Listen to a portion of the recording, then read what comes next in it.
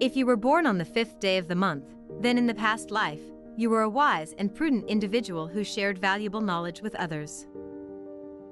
Your vast wisdom is still an integral part of you in this life, which is why you need to share it with others and subtly instruct them on how to find the right path in life.